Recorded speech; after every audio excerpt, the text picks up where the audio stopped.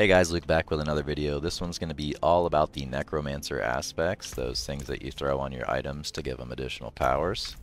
There are 20 Necromancer aspects in total, and I'm going to go through and show you each one of them act by act. Going to begin in Act 1, work my way through 5. And the only thing you really need to know is that you must complete these dungeons that I show you in order to actually get the aspects and I'll go ahead and tell you which waypoints are closest nearby and what the aspects do themselves. So let's go ahead and get started. Leave it a like if you like it. Subscribe for more Diablo 4 guides to come, and let's go. The first Act 1 aspect location I'm going to show you is here at the Black Asylum. And this is nearby the Bear Tribe Refugee and also the Kyovashad town. And this one gives us Aspect of Torment, which makes your critical strikes with bone skills increase your essence regeneration by 20% for 4 seconds. Next up is up here, near the Bear Tribe Refugee, near Kyovashad. And it's here at the Hoarfrost Demise, and this one is the Blood Bathed aspect. And this one is Blood Surges Nova echoes again after a short delay, dealing 70% less damage. This one is located near Bear Tribe Refugee and Kyovashad. The only difference between this one and the other ones is that this is inside of a stronghold, so you'll need to be high enough level and strong enough to complete it. And then once you have that completed, you can head up to the Rimescar Cavern for the aspect of Plunging Darkness, and this one, Bone Prison spawns a pool of Blight and deals 50% bonus damage over 6 seconds. The next one is over on the western side of Act 1, right here at the Nostrava Deepwood, and that's by the Menestad waypoint. And this dungeon right here gives you Flesh Rending Aspect. After Decompose spawns a corpse, gain 10 essence. In the final aspect I'm going to show you in Act 1 is up here at Mercy's Reach, and this is right above the Menestad waypoint on the northwestern side of the continent. And this one does Blood Lance deals 15% increased damage to its primary target per lanced enemy. The first aspect I'm going to show you in Act 2 is here near the Under the Fat Goose Inn waypoint. And this is in the southeast side of the region. And you're going to go to the Hive Dungeon, and this is Aspect of Swelling Curse, which makes Bone Spirit deal increased damage based on distance traveled, up to 15%. Next up is Aspect of Reanimation, which you can find here at the Alderwood Dungeon. All you need to do is head to Tirmair or Corbach, and then those are the closest waypoints. Head over here, and this one makes it to where your skeletons gain increased damage while alive up to 20% after 10 seconds. It doesn't show that here because I've already completed this dungeon on my main character.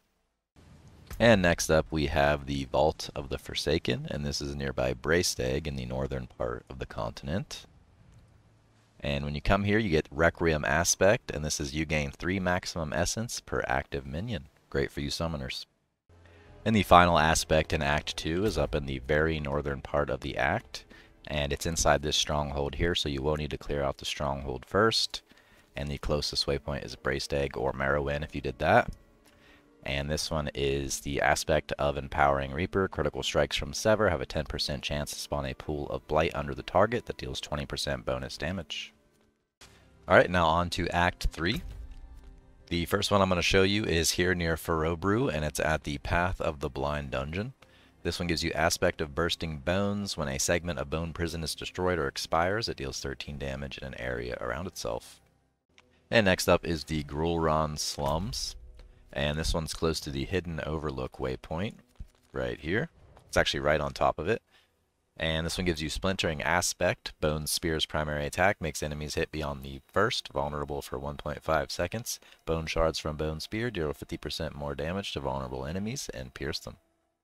And the final aspect in Act 3 is here at the Betrayer's Row, and this one's closest to Hidden Overlook. And it's just right here, and this one gives you Aspect of Potent Blood, while at full life, Blood Orbs grant 10 Essence. And now we're moving on to Act 4, and the first one I'm going to show you is here at the Corrupted Grotto, and it's right above Gea Kul here. And then once you're here, this one gives you Aspect of the Grasping Veins. It's actually not showing it here because of this challenge, but I'll go ahead and tell you what it does. You will gain 10% critical strike chance for 6 seconds when you cast Corpse Tendrils. You deal 30% bonus critical damage to enemies damaged by that. Next up in Act 4 we have the Alder's Cave, and this one's near Gea Kul, and there's another waypoint over here called Iron Wolves Encampment, if you have that one that's closer.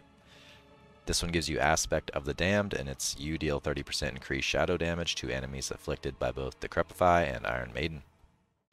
The next one I'm going to show you in Act 4 is all the way in the northern part, up here at the Sepulchre of the Forsworn.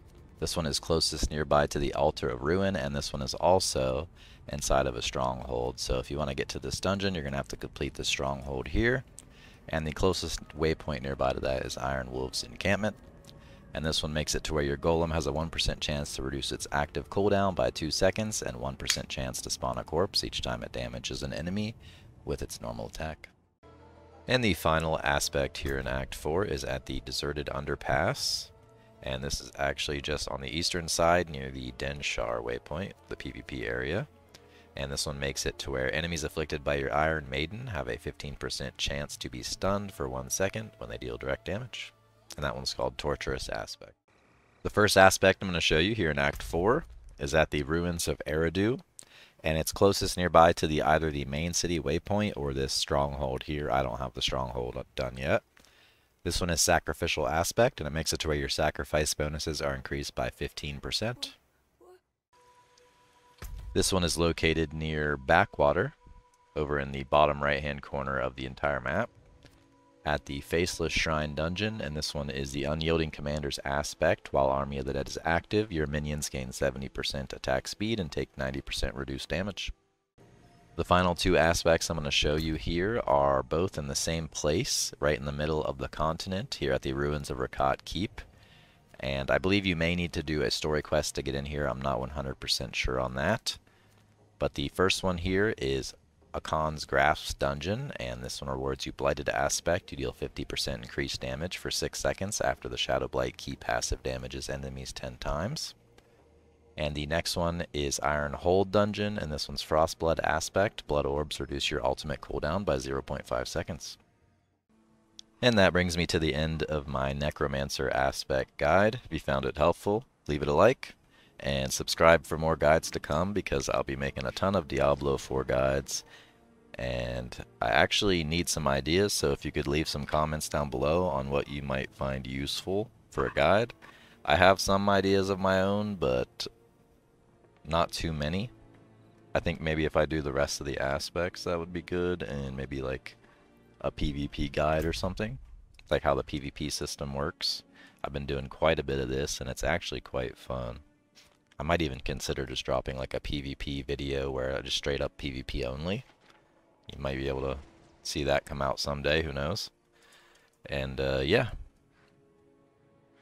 Been loving the game so far and I'm now done padding for ad time, so I'll, I'll stop talking and, and go ahead and end the video. Thanks for watching, and I'll see you in the next one.